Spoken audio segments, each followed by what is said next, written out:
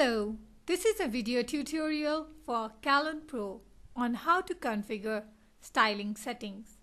To configure your styling settings, go to Appearance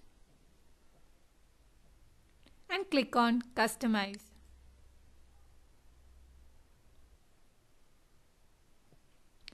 Click on Styling Options.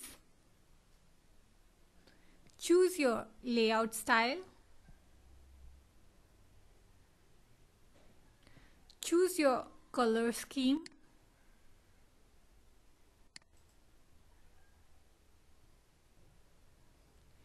Choose your body background background color and background image.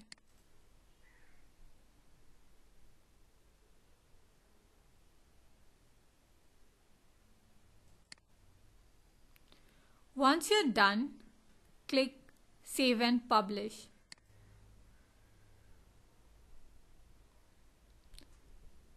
This is how you can configure your styling options in Kalon Pro. If you have any query or confusion, please feel free to contact us on our support forum. Thank you.